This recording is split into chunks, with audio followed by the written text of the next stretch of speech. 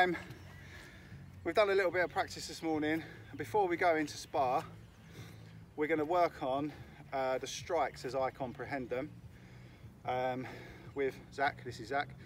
And we're going to work on the strikes as I comprehend them from the text so that you can look at them and say, no, you need to do this, do that.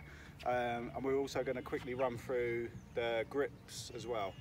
So, if we stand, try and stand quite close. Right, so from the handsaw. Okay, so hammer fist. Now I'm assuming that I can step in and use it to a body. I can use it to a soft area like a neck. I'm not sure in sport if I can go straight to the face. I'm assuming that's a no, but combat, yeah, I'm sure you can. But the way I'm seeing it is from here, I can use it to weaken my opponent's grip, hammer fist down. Okay, so potentially even as a shocking technique. Um, second is a slap. Slap's quite straightforward. You can use it from anywhere from here, sorry, a bit harder than I expected. Use it from anywhere to stun an opponent. Um, you take the handsaw, you come in with that hand, come down here, here. The kick, the kick, two kicks. So from handsaw, snap kick, so we go from anywhere from here down. Not sure if that includes that area, but snap kick. Um, and obviously the front, front reaching kick. So we sort of 2P in with a nice powerful one with the heel. Um, okay, grips, grips. So we've been working on the handsaw today. So Glima grip, got a nice bent leg, got my weight kind of in between my legs, we've got a bit of a right angle here that gives me the ability to pull, gives me the ability to push. But we're going to work on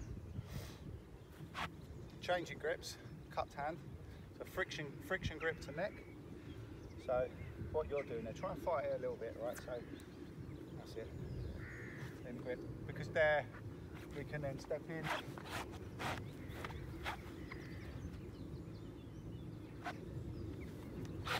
step round. Okay. Um, so, strikes, grips, and this is what you pick me up on. So I was just explaining to Zach. Zach just asked if you can just grab for the leg and lift.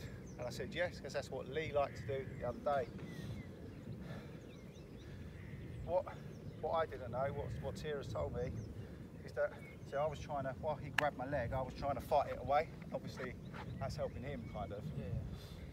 So if we're in the gleamer, Glima stance here, he's trying to grab my leg. If I actually just come down, yeah. it's it's making this part harder for him to get. Yeah. So maybe, do you want to try that? Should we try that out? You try and grab my leg, because you asked if you could grab a leg. Right, Let's go from here. So you're going to break my grip and you're going to go, or you're going to just try and grab it with that arm. I can immediately feel that I'm in a stronger position from down here. And also, if you're leaning towards me, I could just switch it up, probably go like that. So try that. Just go, go, like, go grab my leg, but stay there. I, could go from here, get under you, lift you, so I could take your leg. Also from there though, can I just sweep which? Because then you yeah, you could. got less balance. Yeah, absolutely. There's there's set techniques that we practice, and Glima also gives you the ability to adapt in that situation. In fact, that's what that's the important thing is that you you you understand about your balance, your movement, and your opponents, so that when you're in actual a full full fight situation, you can you don't have to think it too much. You can just adapt. You know where their their weakest balance point is going to be, but that's a sweep in, sweep out, throws, whatever it's going to be. So, right, that's cool. Do you want to try them out? Yeah. Do you want to, so, go, go for the slap if you want to go for a slap. Slap. Yeah, okay.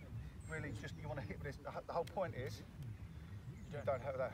We forgot one, which was an open hand. So from here, I could could use that here, underneath your chin. Um, you, we probably won't be doing that in sport yeah, as a strike, but you can absolutely get a thumb underneath the chin as you're stepping it. So it's the same as that outside leg sweep, but you're controlling the, your opponent's head and balance from there. Um, okay, so we've done, done stack, done strike. So you can go for a kick from there. You can do a snap kick. So yeah, you want to really flick. That's it. Um, and that's not really going to hurt a great deal, but like a slap, It's gonna distract, It's going to distract, and then you could go up top. So you get them down here and you come up top, um, and then you've got like the throwing a, like a nice powerful heel kick in. Pushing back. But that again, that's risky because if you if your opponent grabs that leg, you just you got it on the floor again. Um, okay, and that grip. Do you want to try that grip? So we start we start from here, and we've broken that, and we're, we're both fighting. Like grab my arm, we're both fighting, and you grab grab me around the neck with like a cupped hand. So remember, you can't. You can grab. So it's like this, and it's right. It's here. All right. So you're you've got kind of a large area. If it's flat, you're more likely to slip. But if you've got a bit of friction like this, that, I'm controlling that arm. Yep. Oh, I can, I can come in and move in here. Yep. All right. Mm-hmm. Okay. Yep. Okay. Let us know.